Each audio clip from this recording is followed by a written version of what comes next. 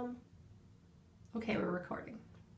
Hi, Grandpa. Today I am wearing men's deodorant Why do you want to wear men's deodorant? because other people in school do. Oh, you think you're pretty cool now? Yeah, Do your armpits smell good? yeah.